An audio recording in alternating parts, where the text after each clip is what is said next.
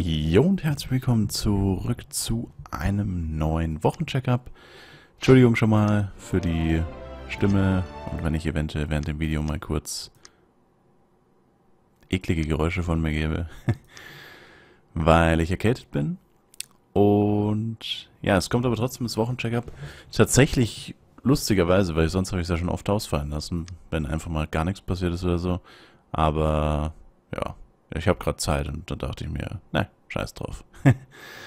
naja, und so schlecht geht's mir gar nicht. Also es, ja, solange es nicht noch schlechter wird, passt's eigentlich. Genau. Ähm, ja, was ist so passiert? Ähm, das größte, heftigste, was passiert ist, wird wohl hier sein. Wir haben unsere Runen von letzter Woche hatte ich ja, glaube ich, 2000. Wir haben jetzt 87.000. Ich habe nicht reingecached, beziehungsweise nicht reingecached, sondern ich habe keine Pilze benutzt. Und äh, ja, auch sonst irgendwie nicht mich irgendwie hochgeboostet, sondern habe wirklich äh, ja, einfach nur ganz normales gemacht. Und ging ziemlich gut, also wie ich es gesagt habe, ab dieser 2000er Marke ging schneller. Dann habe ich am nächsten Tag schon 2000 bekommen, also das Doppelte, also das gleiche von dem, was ich jetzt hatte.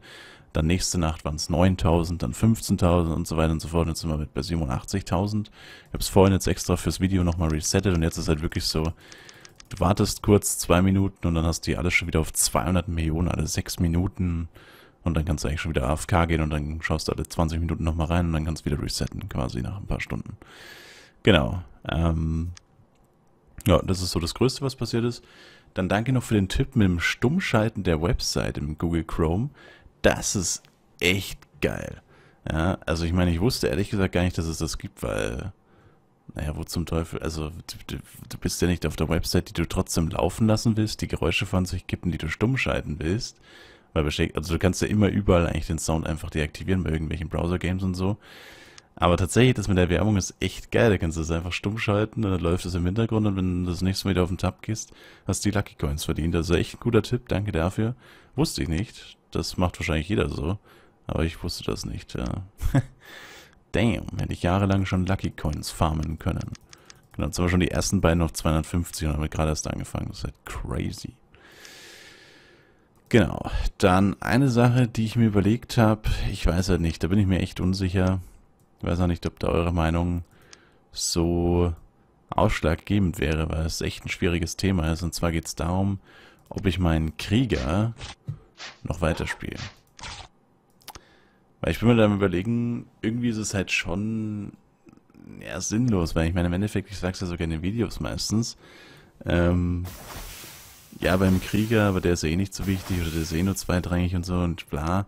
Und ich habe neulich festgestellt, eigentlich wollte ich ja bei dem, das habe ich vor Ewigkeiten mal gesagt, eigentlich wollte ich bei dem ja die Dungeons so langsam aufholen, vor allem die schwachen Dungeons, die eh uninteressant sind. Das habe ich nie gemacht. Also bei Hemo, Hemo, Hemoridor oder wie auch immer das heißt, ähm, bin ich bei Etage 4.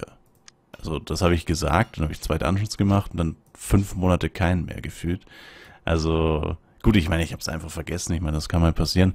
Aber ich meine, so unwichtig ist er mir halt eigentlich.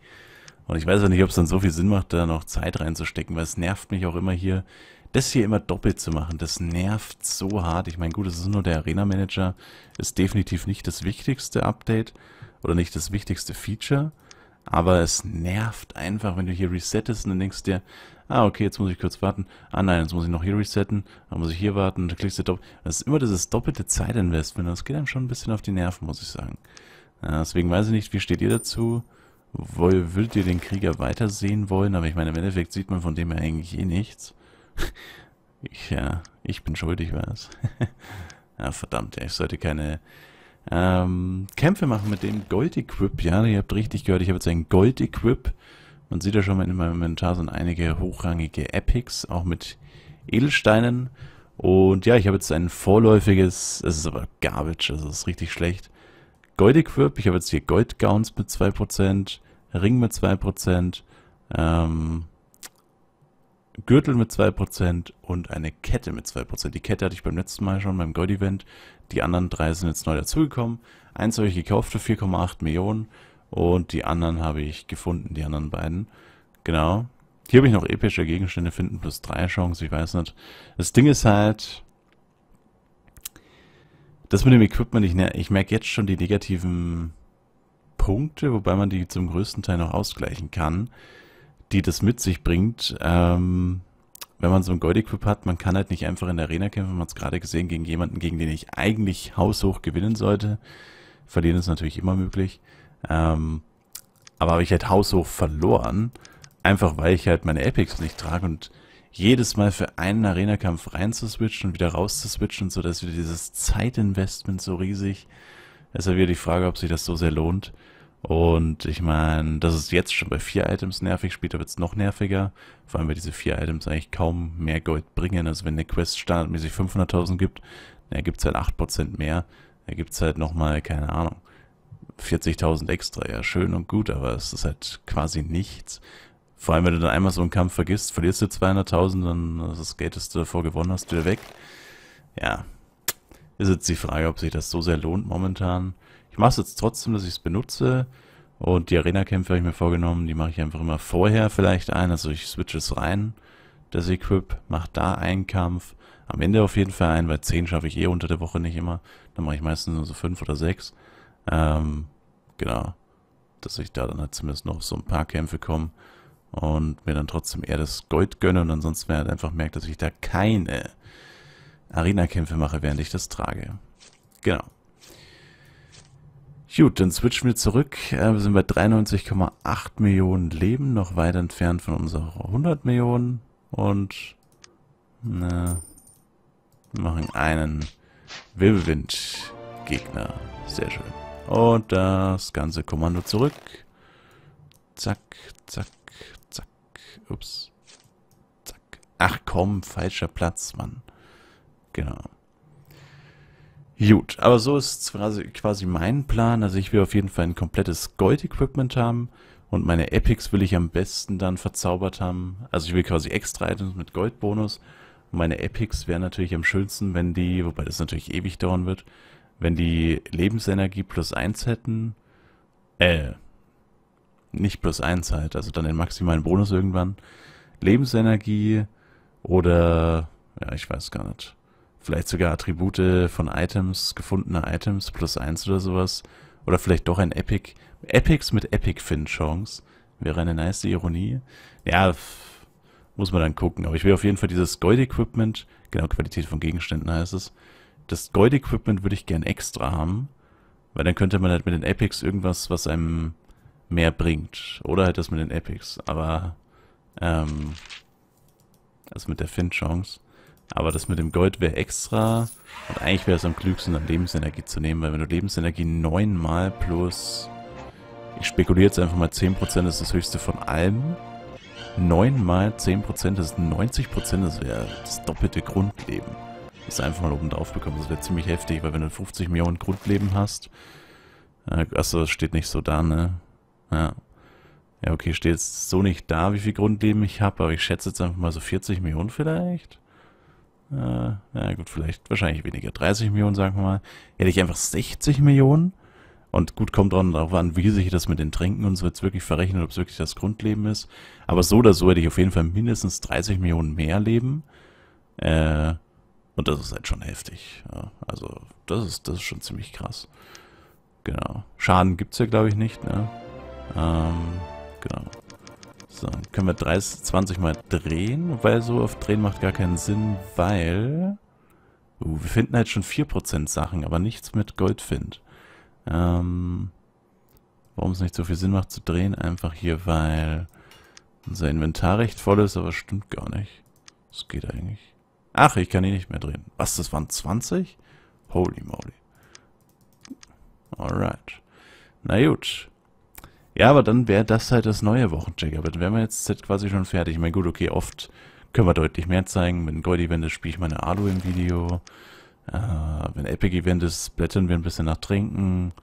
Gut, okay, stimmt natürlich so auch nicht. Also meistens wird natürlich schon ein bisschen länger gehen.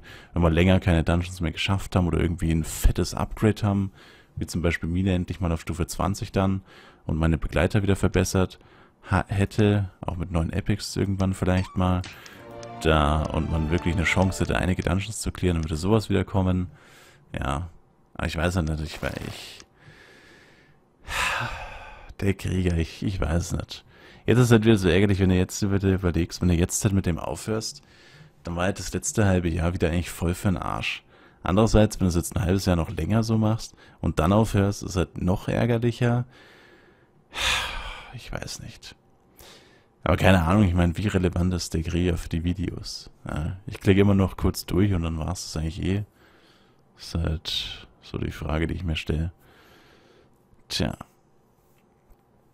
Mal ganz davon abgesehen, dass die Videos eh keiner schaut. Was? Was? Wo? Kappa. Nein, war nur ein Scherz. Ähm, genau. Aber ja, muss ich mal gucken.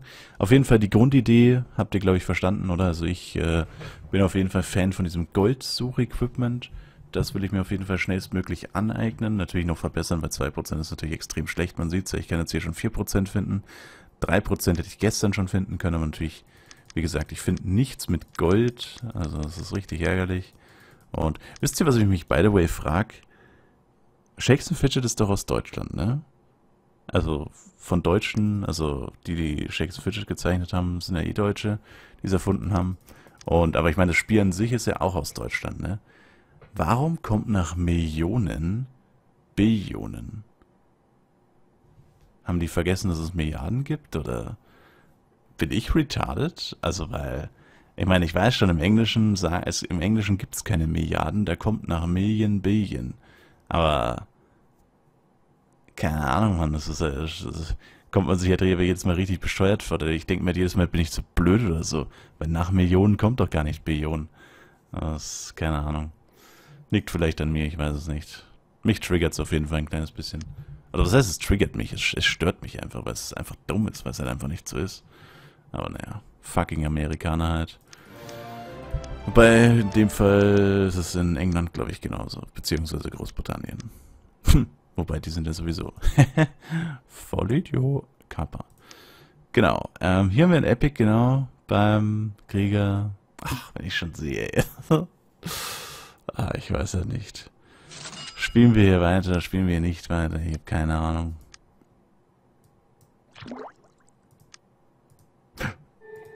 Ganz vergessen. Macht der Gewohnheit. Moment mal. Achso, ich habe schon eine Quest angenommen. Oder? Genau. Hier läuft es auch viel besser mit den Dingern, mit den, äh, mit den Runen beim, wie heißt Arena Manager. Genau, jetzt haben wir auch schon 26.000. Da allein sieht man es schon. Ja. Also hier ist 20, dass ich halt öfter auch tatsächlich mal länger offen, obwohl ich das eigentlich nicht so gern habe, weil ich immer nicht will, dass Shakespeare Fischer zu viel Zeit von meinem Tag einnimmt. Und wenn ich es immer offen habe, schaue ich halt immer wieder nach und dann kostet es mich immer wieder 10, 20 Sekunden. Und wenn du es ein paar Stunden offen hast, vor allem am Wochenende oder so, dann summiert sich das halt locker mal auf eine halbe, dreiviertel Stunde extra zu dem, dass du deine Alu spielst.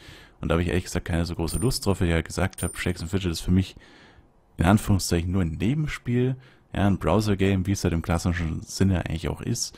Ähm, ja, das läuft nebenbei, spielt sich größtenteils von alleine und man gibt quasi nur noch die Kommandos. Ja, wenn ich die ganze Zeit reingucke, dann gebe ich nicht die Kommandos, sondern sagt das Spiel, hey, du musst wieder reingucken.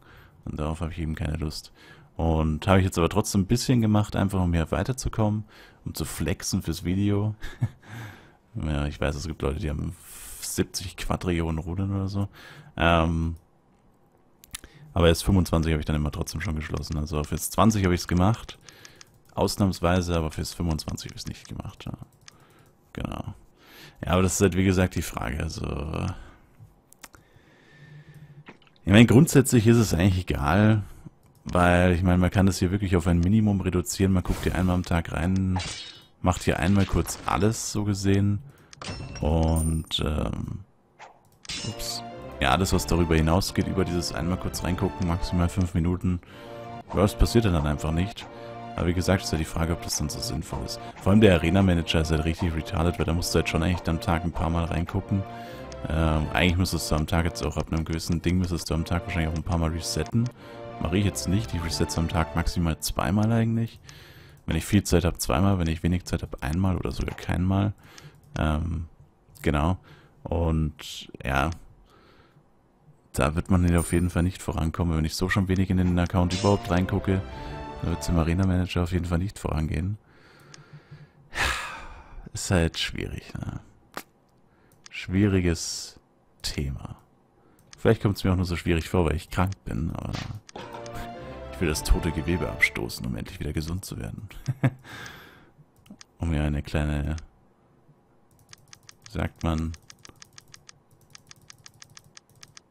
ich habe keine Ahnung, wie man sagt. Halt einfach dein Maul, Chris. Danke. da gibt es irgendwie eine, eine Redewendung, aber keine Ahnung, wie die geht.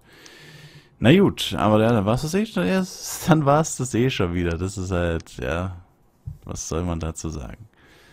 Genau, ähm, ja, aber auf jeden Fall auf S20. Wir sind übrigens auf Stufe 428. Ich weiß gar nicht, ob ich ein oder zwei Level diese Woche geschafft habe. Ich glaube nur eins.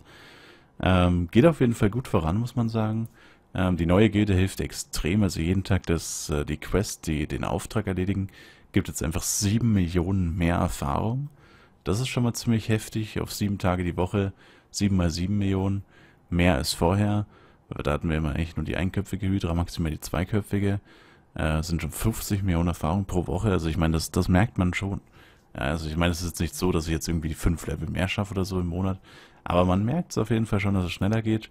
Und ja, auch ansonsten ist es einfach, weiß nicht, der Change war auf jeden Fall bis jetzt noch auf jeden Fall die richtige Entscheidung. Mal gucken, ob es mit der Aktivität bei mir so bleibt, aber ja, momentan macht es eigentlich schon... Wait. Ach so, ich konnte nichts mehr zerlegen, ne? Ja, genau. Schon Bock und ja. Was natürlich hier bei den Items noch von Vorteil wäre, wäre natürlich einerseits, wenn sie die richtigen Attribute haben. Momentan sind das nur die Kette und der Gürtel. Und am besten halt noch Sockel und man einfach zumindest Geschicksteine reintut oder so. Auch um die Arena-Kämpfe, um nicht unbedingt immer switchen zu müssen, dass man sich halt einfach Gegner sucht, wo man weiß, okay, gegen die kann ich auch ohne Apex gewinnen. Das wäre an sich nicht das Problem. Mein Problem ist aber dabei, dass ich ja momentan die Mine ausbaue und die ist halt auch erst Stufe 17. Das ist halt, ach, das dauert nochmal einen Monat. Also ich werde jetzt am Anfang Dezember werde ich erst die Mine auf Stufe 20 haben. Erst dann kriege ich wieder Edelsteine. Das ist halt noch so ein fucking langer Zeitraum. Das wird halt richtig kacke. Vor allem, ein großes Problem ist auch in den Dungeons, also wir haben es ja hier gesehen, da, da geht jetzt halt nichts mehr. Ja, also da können auch drei Gold-Events kommen, dann schaffen wir den Typen immer noch nicht. Das ist, vor allem Gold-Event bringt mir gar nichts, weil ich dann nur auf Ausdauer gehe. Also gegen den Gegner bringt mir Ausdauer eh nichts. Oder nicht sehr viel. Ähm, von dem her, ja, ist es eh schwierig. Sag ich, was ist das eigentlich? Ah. Hm. Jetzt hätte ich schon zwei Items noch mit äh, Epic Fin Chance. Interessant. Entschuldigung übrigens. Naja. Machen wir noch einen Pet-Kampf. Und dann würde ich sagen, sind wir am Ende angekommen. Ähm, genau. Mehr gibt es nicht zu sagen. Könnt auf jeden Fall in die Kommentare schreiben, was ihr so denkt, Krieger weiterlaufen lassen oder nicht. Ich würde es jetzt dann aber wirklich auf ein absolutes Minimum beschränken. Das heißt, Arena Manager schaue ich eigentlich auch nur noch einmal am Tag so wirklich rein. Lucky Coins habt ihr gesehen, mache ich eigentlich ziemlich aktiv bei beiden. Da muss ich aber sagen, naja gut, man schaltet beide stumm. Und naja, bei der Quest sieht man ja, also man muss ja nur eine Quest annehmen und dann kommt die Flimmerkiste automatisch. Ich meine, das ist ein Klick. Also ich meine, das kann man schon machen. Ja. Ihr seht, die kommt ja automatisch die ganze Zeit. Das ist ja kein Mehraufwand. Aber mal hier alles verteilen, resetten und bla. Ich meine, das ist natürlich schon ein Mehraufwand. Und wenn du da immer zusätzlich noch 100 mehr klickst beim anderen Chart, dann summiert sich das halt dann schon. Beide zusammen. Genau. Aber gut, dann würde ich auf jeden Fall sagen, was das. Ich bedanke fürs Zusehen. Macht's gut rein. Bis zum nächsten Mal und ciao, ciao.